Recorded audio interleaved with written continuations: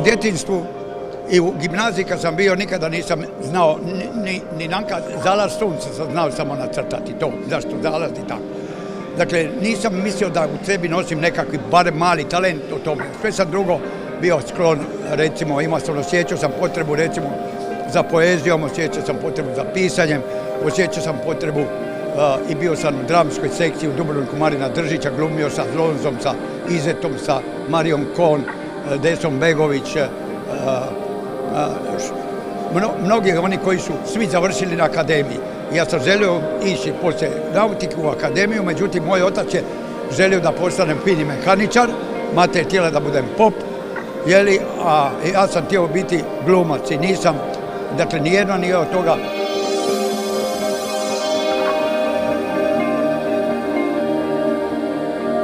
U slikarstvu sam krenuo zapravo potaklo me je tako nešto bez veze. Bio sam na prvom brodu koji se zvao Pčela, o, to su marljive, bio još mrav sličan, samo je trebalo da se nađemo još i na tom mravu pa da bude basnu da napišemo novu, La Fontenu ona malo da ga ispravimo. Međutim, moj e, noštrovo kuvert Smoljan Marko, jedan živi čovjek, vrlo inteligentan, bio predsjednik e, ovaj, sindikata za vrijeme Kraljevine Jugoslavije i on je tamo bio poslan na pčelu. Tamo se našao jedan borac koji je pričao prije, malo prije nego što je informirao bio 48. govorio svašta o Rusi. Umjesto da su ga zatvorili, poslali na goli otok, nisu mogli jer je bio ipak neki heroj. Dospio je on tamo, još sam našao neke. A onda sam se ja pitao što sam se ja našao ovdje i znači ja sam nešto skrivio. Taj Marko je bio noštrom, on se bavio sa piturom i tim stvarima i radovima. I ja sam bio njegov asistent pravi, ja bi ga zamjenjivo, čak kad bi bio odsutan s broda kratko, onda smo navigali u blizini. I on svaki put kad bismo završili taj posao po danu, te pinele koje bi on trebao odložiti u terpentinu, on bi prije prošao bi sa njima preko lamarina unutrašnjega u tom kamarinu i vremenom se nastala jedna divna abstraktna slika. Ja sam se iznenadio. Onda sam pomislio što to Marko napravi u toliko mjeseci, možda bi ja mogao u jedan dan napraviti.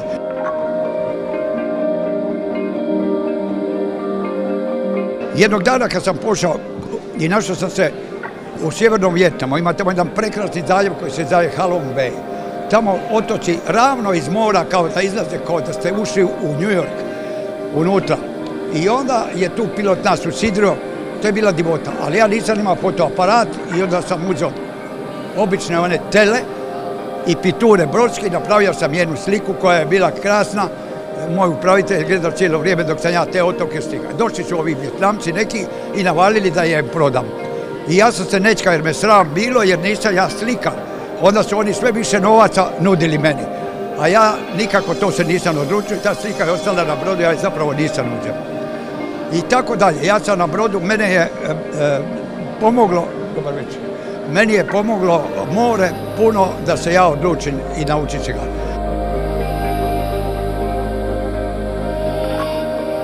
Da nisam imao takav zanat, sigurno ne bi bio našao taj, otkrio taj talent. Jer ta samoća i ne znaš što ćeš sa sobom i, kako bi ti rekao, e, vi, kao kapetan, kao što kaže da je kraj najosamljeniji, tako i zapovjednik na neki način. On mora biti blizak, postati, voliti ljude, ali mora ipak držati jednu distancu između sebe i njih, da ne prođemo suviše bliski i izgubimo ono uh, službeno.